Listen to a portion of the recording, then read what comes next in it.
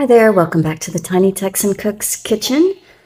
You may recall a few weeks ago that I made Southern comfort food and talked about the history of chicken fried steak. And today I'm making actual German schnitzel out of pork. Stay tuned.